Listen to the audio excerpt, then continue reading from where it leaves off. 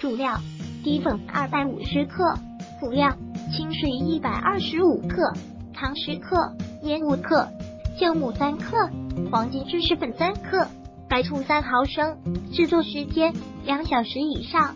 将一百二十五 T 清水倒入面包机桶内，加入十 T 糖，倒入二百五十 T 低粉，加入了三 T 黄金芝士粉，加入五 T 盐，加入三 T 酵母，启动面包机，待揉成面团时，滴入两滴白醋，温柔到光滑。熄面包机，取出面包机桶，盖上保鲜膜，放入冰箱冷藏发酵至少二十小时。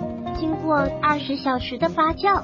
取出面团，排气，放置室温，待面团回温，将面团擀成片，由一则向另一则卷成条，再用锅板切成相等的小剂子，放上蒸笼，醒发三十分钟。经过三十分钟后，玫瑰花用手拿起来时有轻飘飘的感觉，就可以开火蒸了。冷水下锅，大火煮沸后转慢火蒸十八分钟，熄火后过三分钟打开。取出放凉即可享用。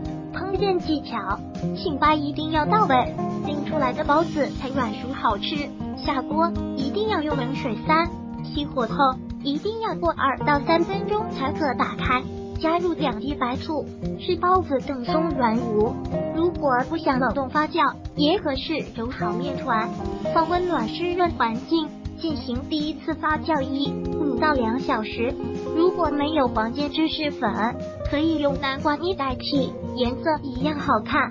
如果喜欢本视频，请分享并订阅本频道。